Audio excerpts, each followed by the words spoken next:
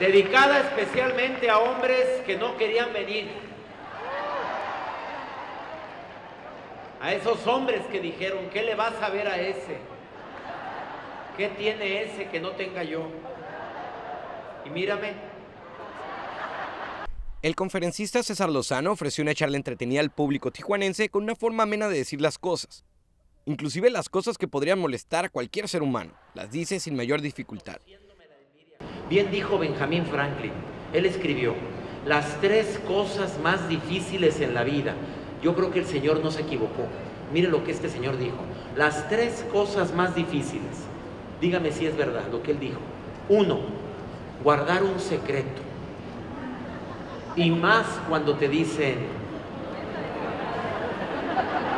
júramelo, gacha. Nomás te lo dicen, ya se cuenta que te quema, te escalda. Ven para platicarte, no te conozco, me vale madre, pero ven para decir, te quema el secreto. A ver, pregunto, ¿quién como yo tiene la costumbre de que la gente les cuenta sus secretos para desahogarse? ¿Quién tiene el imán para que la gente le cuente sus broncas? A mí. Entre algunas risas y silencios a la par, Lozano hizo hincapié en cómo los hábitos propios y de quienes no rodean al ser humano dependen mucho para mantener un día feliz, como el hecho de cuidar las afirmaciones y programar la mente siempre en cosas positivas. Atrás llega un señor, se me queda viendo como si hubiera visto un aparecido así. Acomoda su maleta y me dice, César Lozano.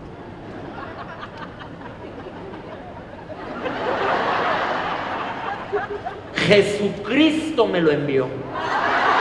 Jesucristo con su inmenso poder me lo puso al lado mío. Y yo, ¿qué culpa? Dije, viera yo cuánto sueño traigo.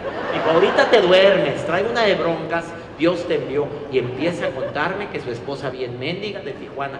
Que eso, ay, ¿qué quiere? Pues es la verdad, yo qué culpa tengo, gallona. Que su hija bien malagradecido, que su hijo embarazó una chava. Oye, y hora y media y seguía hablando. Y apenas le iba a decir, mira, yo opino, espérame. Y siguió hablando y hablando y hablando. A las dos horas y media aterrizamos, agarró su maleta y me dijo, qué rico platica usted. Yo ni hablé. Esto me queda claro que la gente tenemos una necesidad tremenda de ser escuchados, ¿eh? Antonio.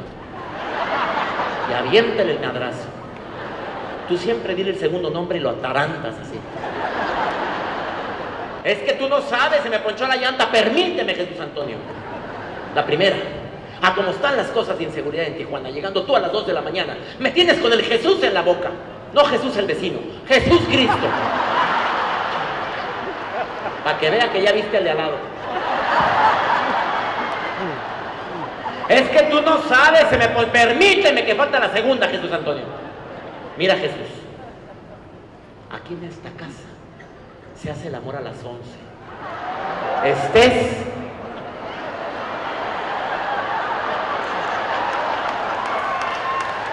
Míralas, aplaudiendo las viejas solas.